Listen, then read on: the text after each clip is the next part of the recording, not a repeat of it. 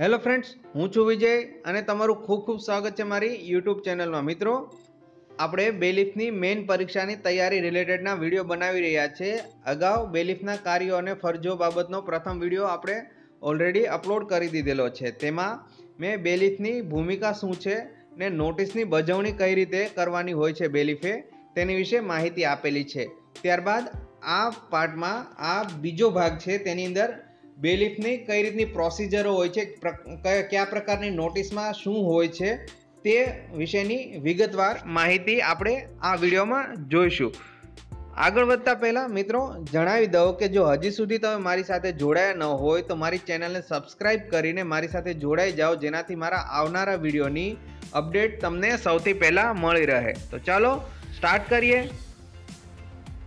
So friends આગળના વિડીયોમાં આપણે શીખ્યા કે બેલીફના કાર્યોમાં કઈ કઈ વસ્તુ આવતી હોય છે અને તે સમન્સની બજવણી જેને કરવાની હોય છે, તે કયા કયા પ્રકારે કરવાની હોય છે અને કઈ રીતે કરવાની હોય છે તેની દરેક માહિતી આપણે મેળવીએ.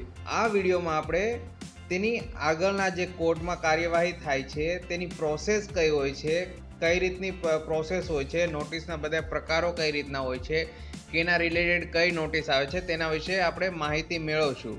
તો આગળ જો આપણે જોઈએ તો હાલના વર્તમાન સમયમાં બેલી પાસે મોટા ભાગનું સિવિલ કેસોનું અને તેના પ્રોસેસની કામગીરી કરવાની હોય છે તેવા કાર્યો તેની પાસે હોય છે.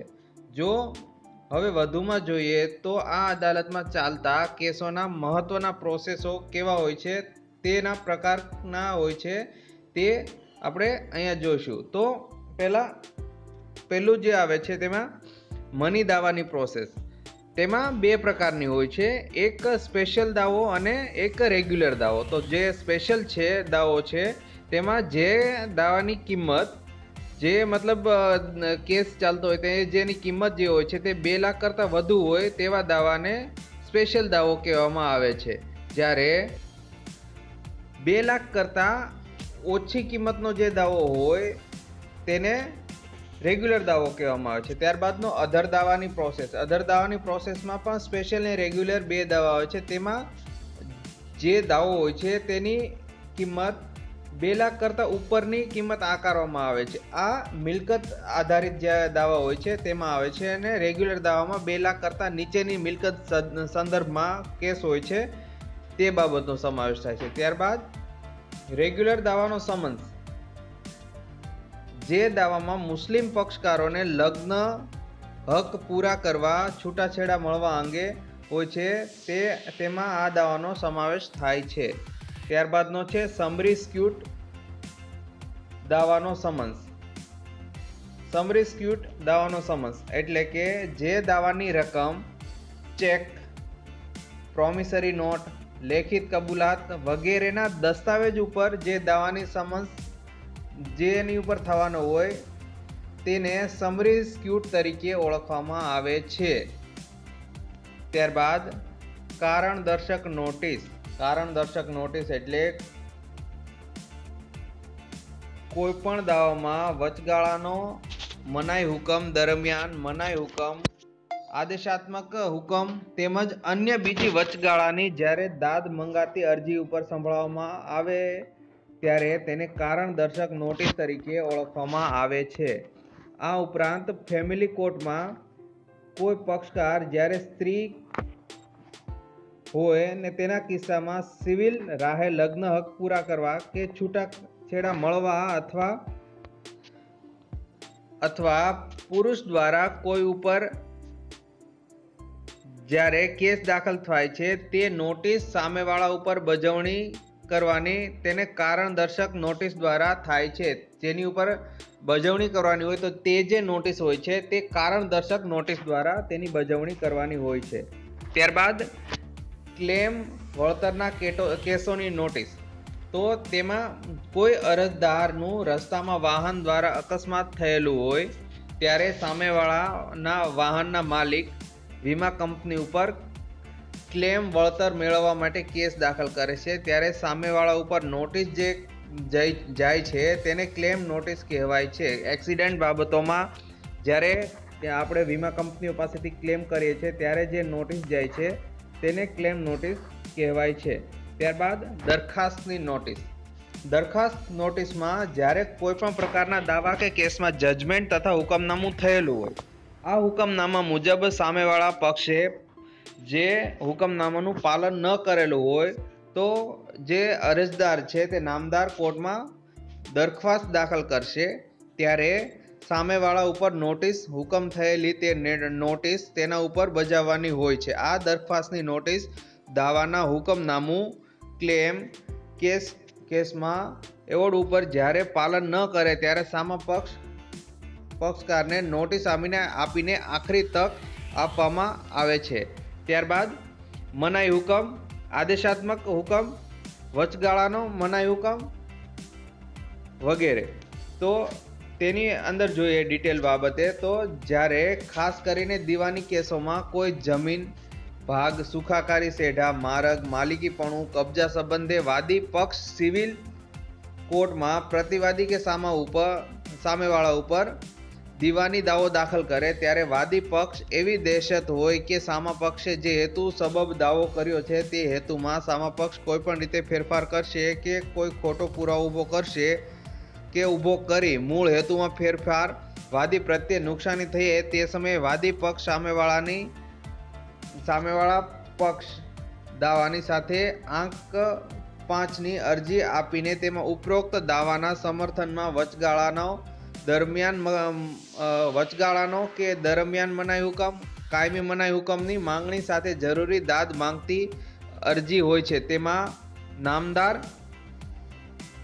અદાલત સામા પક્ષે મનાઈ હુકમનો આદેશ ફરમાવે. તે આદેશને સામેવાળાને જાણ કરવાની મનાઈ હુકમની પ્રોસેસ કહેવાય છે. તો આની અંદર જે સેઢા પક્ષનાને જે આવા કેસો હોય છે, તે બાબતે કંઈ ખોટું ન થાય. તે બાબતેની જે પ્રોસેસ થાય છે તે પ્રોસેસ આની આમાં કરવામાં આવે છે. ત્યારબાદ પંચનામાની નોટિસ તો આમાં આ પ્રમાણે ક્યારે કોઈ કેસમાં સ્થળ સ્થિતિનું પંચનામું કરવું અનિવાર્ય બને ત્યારે નામદાર કોર્ટ દ્વારા નિમાયેલ કોર્ટ કમિશનર વાદગ્રસ્ત ઉપર હાજર રહી જે વાદગ્રસ્ત જગ્યા હોય તેની ઉપર હાજર રહી અંગે નોટિસ જે હોય છે તે નોટિસમાં બંને પક્ષકારોને વાદગ્રસ્ત સ્થળ ઉપર હાજર રહેવાની ખબર અંગેની નોટિસ હોય છે. આમાં જ્યારે કોઈ પણ જગ્યા બાબતે કે કાંઈ પણ બાબતે જે પ્રોબ્લેમ હોય છે અને તેનો જે કેસ થાય છે, ત્યારે તેનું પંચનામું કરવા બાબતે જ્યારે કરવાનું હોય છે, ત્યારે તેની નોટિસ બંને પક્ષકારોને મોકલવાની હોય છે.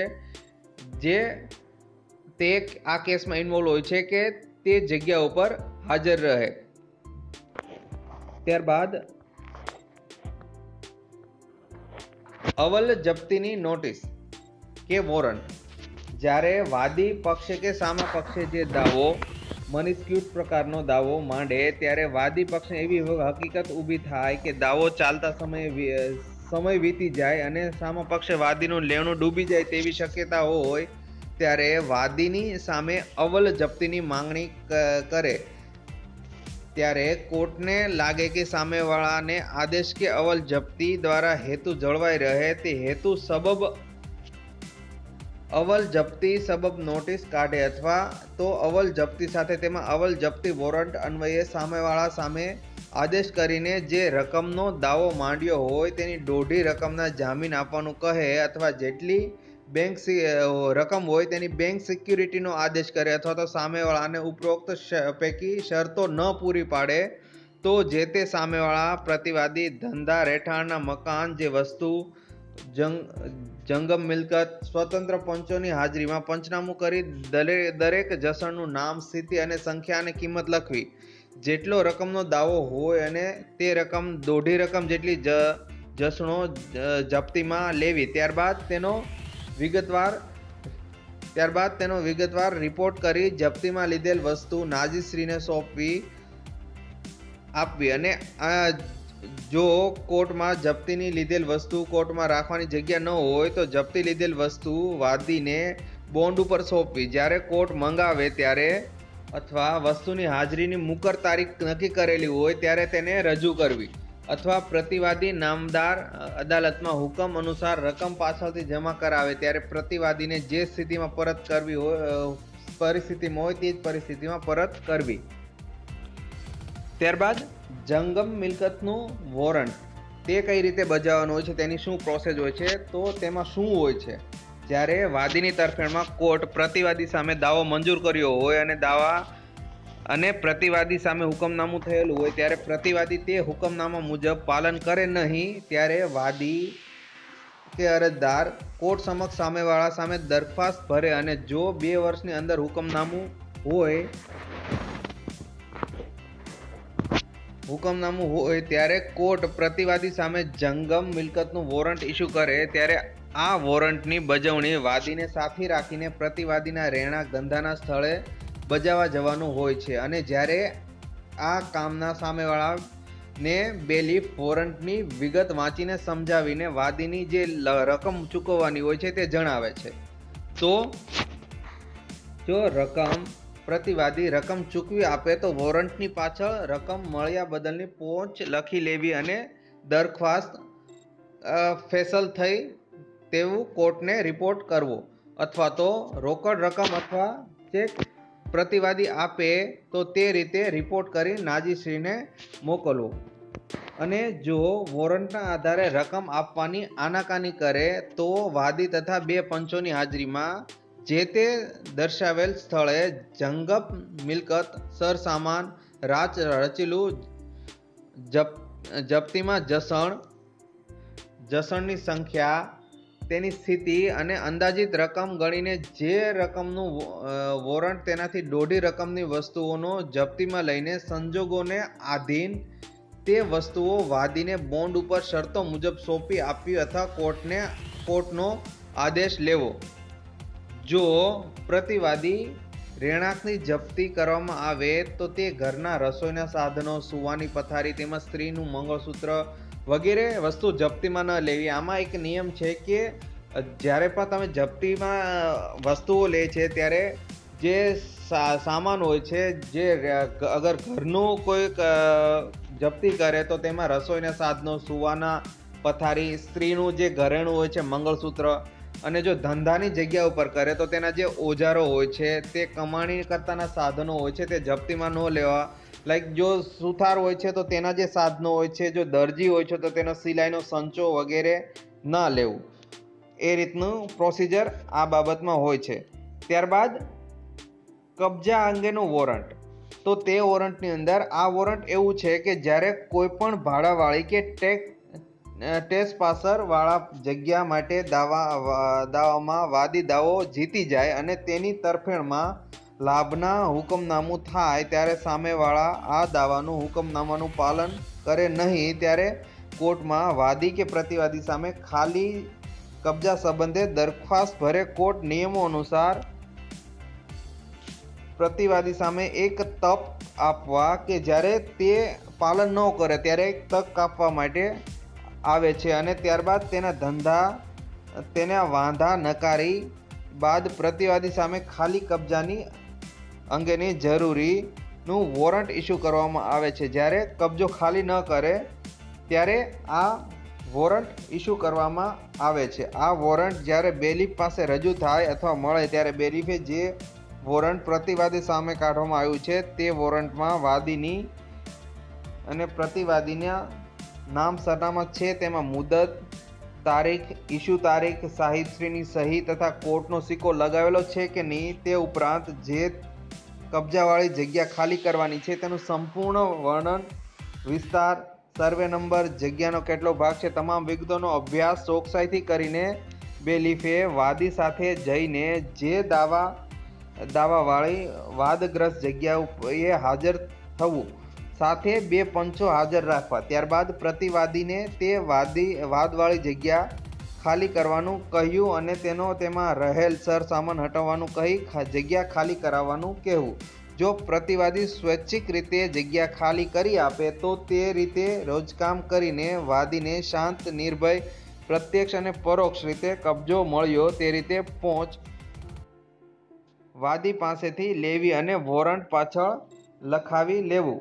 જો પ્રતિવાદી તેના માણસો, ઘરના સભ્યો, એજન્ટ વગેરે વાદવાળી જગ્યા ખાલી કરવાનો ઇનકાર કરે તો પંચોની હાજરીમાં વિગતવાર પંચનામું કરીને ખાલી કરાવવાના પંચનામા સમયે પ્રતિવાદી કે તેના સભ્યો અટકાયત કરે કે અડચણ ઊભી કરે ત્યારે બેલીફે એ પ્રતિવાદી કે તેના માણસો પરિવારના સભ્યો સામે વિગતવાર પંચોની હાજરીમાં અટકાયત પંચનામું કરીને કોર્ટ સમક્ષ રિપોર્ટ કરવો. આ ઉપરાંત કોર્ટનું ધ્યાન દોરી પોલીસ બંદોબસ્તની માંગણીને ઉપરોક્ત વાદવાળી જગ્યા ખાલી કરાવવા કહી શકે છે. જ્યારે આ રીતનું હોય છે, જો આસાનીથી જગ્યા છોડવા તૈયાર હોય, તો તે રીતનો રિપોર્ટ કોર્ટને કરવાનો અને જો કોઈ અડચણ ઊભી કરે અને ખાલી કરવા રેડી ન હોય, તો પોલીસ પ્રોટેક્શનની લેવું અને કોર્ટને તે રીતનો રિપોર્ટ કરવો. ત્યારબાદ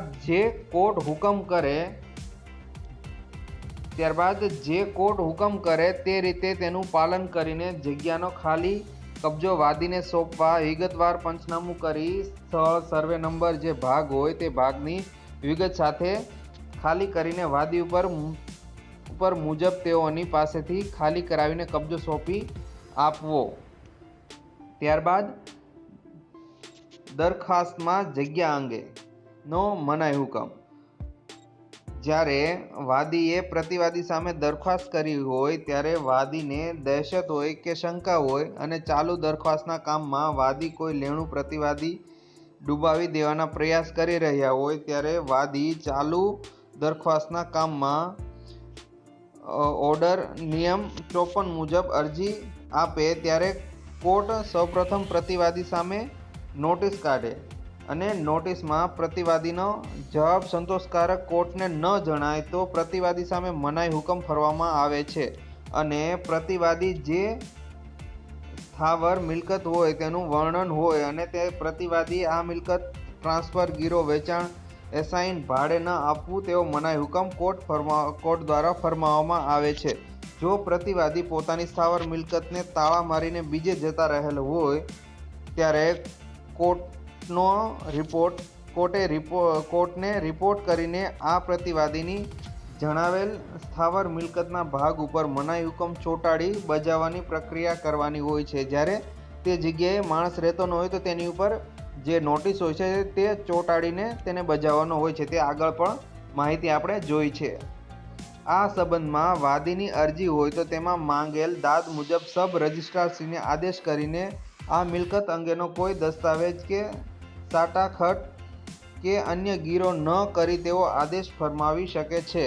ત્યારબાદ સ્થાવર મિલકતની વેચાણની નોટિસ કે વોરંટ. સ્થાવર મિલકતની વેચાણની નોટિસ કે વોરંટ તેમાં શું હોય છે તો તેમાં જોઈએ તો આ કામનું મહત્ત્વ અને અને અનિવાર્ય છે કે જ્યારે કોઈ દાવામાં પ્રતિવાદીની વિરુદ્ધમાં પ્રતિવાદી પાસે જંગમ મિલકત હોય ત્યારે અથવા જ્યારે લાગભાગના દાવામાં વેચણીના દાવામાં જ્યારે સ્થાવર મિલકત હરાજી કરી તેમાંથી ઉપજેલ રકમ વાદી પક્ષકાર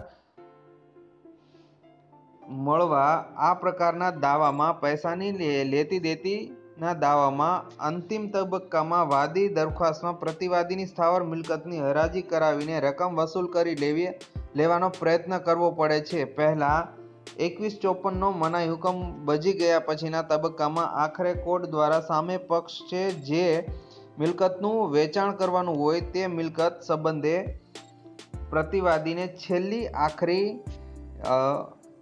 ઓની ચાસઠ મિલકતની હરાજીની શરતો નક્કી કરવાની નોટિસ આપવામાં આવે છે. ત્યારબાદ મિલકતનું જાહેર વેચાણ હરાજીનું વોરંટ ઇસ્યુ કરવામાં આવે છે, જેમાં પ્રતિવાદીનું પૂરું નામ, સરનામું અને મિલકતનું સંપૂર્ણ વર્ણન સાથે હોય છે, જેમાં જાહેરનામાની એક નકલ કોર્ટના નોટિસ બોર્ડ ઉપર, એક નકલ સ્થાનિક જગ્યાએ એક નકલ જાહેર સ્થળ ઉપર અને એક નકલ મામલતદાર કલેક્ટર કચેરીમાં નોટિસ બોર્ડ ઉપર ચોંટાડવાની, ચોંટાડીને બજાવવાનું હોય છે. આ જાહેરનામું મુજબ ત્રીસ દિવસ પછીના દિવસની તારીખ હરાજીની તારીખ નક્કી થાય છે. તેમાં સૌપ્રથમ તારીખે બેલીફે દાવાવાળી સ્થાનિક જગ્યાએ વાદીની હાજરીમાં ઢોલ પીટાવીને હરાજીની બોલી તથા શરતો નક્કી કરવાનું હોય છે. આ હરાજીમાં ભાગ લેનાર શખ્સોના નામ, સરનામા લખવા અને કિંમતો બોલી બોલાવી રકમ લખવી. ત્યારબાદ છેલ્લે ઊંચો ભાવ બોલાય ત્યારે હરાજી મુલતવી રાખીને બીજા દિવસે ફરીથી એ જ જગ્યાએ હરાજી કરવી. અને ફરીથી બોલી બોલાય તેમાં છેલ્લો ભાવ ઊંચો હોય છે તે નક્કી કરીને નાજીશ્રીને સુપ્રત કરવો. ત્યારબાદ બીજા દિવસે તે હરાજી નાજીશ્રી પાસે છેલ્લે આખરી હરાજી થાય છે તેમાં બેલીફની મહેનત અને જવાબદારી સૌથી વધુ હોય છે. આ જે દરેક બાબતો છે તેના રિપોર્ટ જે પ્રકારના થાય છે તેના રિપોર્ટ માટે પણ હું એક આગળ વીડિયો બનાવીશ. આ ફક્ત માહિતી માટે છે. આ પણ ખાસ યાદ રાખવું. બેલીફની મેઇન એક્ઝામમાં આના પ્રશ્નો હોય જ છે. લાસ્ટ યર પણ આના રિલેટેડ ઘણા પ્રશ્નો પૂછાણા હતા. નેક્સ્ટ વિડીયોમાં આપણે જાણશું કે સમન્સ નોટિસ વોરંટ જે બજાવવાની હોય છે, ત્યારબાદ બેલીફે કઈ રીતનો કોર્ટને રિપોર્ટ કરવાનો હોય છે અને પંચનામું જ્યારે કરીએ છીએ, ત્યારે પંચનામું કઈ રીતે કરવાનું હોય છે તેનો એક્ઝામ્પલ સહિત હું તમને બતાવીશ, જે નેક્સ્ટ વિડીયોમાં આપણે લઈને આવીશું. ત્યાં સુધી જો તમને કોઈ પ્રશ્નો હોય તો તમે ચોક્કસથી પૂછી શકો છો. Till then be happy stay updated thank you